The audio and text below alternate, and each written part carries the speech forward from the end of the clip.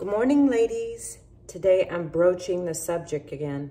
Okay, you know how much I love brooches. I love them, I love them, I love them. So I wanted to show you a quick trick today. I'm getting ready to go to work, and this is one of my favorite scarves. Um, I used to sell them. If you ladies think I should reorder them, let me know. It's this oblong ruffle. Hang on, sticking to me. Whoops.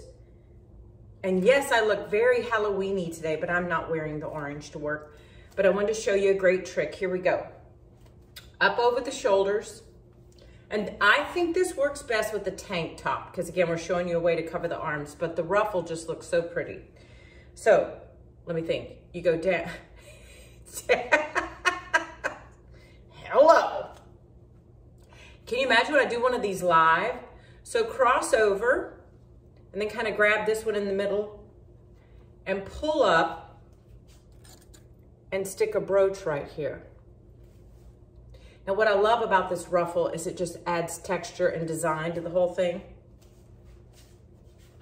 What do you think? Yes? No? I love it. I, I really, I think I'm gonna order these in all colors. I just, it's such a great scarf. And again, whoop, get my hair out of the way.